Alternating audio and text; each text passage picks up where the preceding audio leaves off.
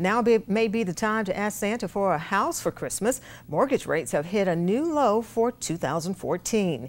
According to Freddie Mac, the average rate for a 30-year fixed rate loan now stands at 3.8%. That's a rate not seen since May 2013.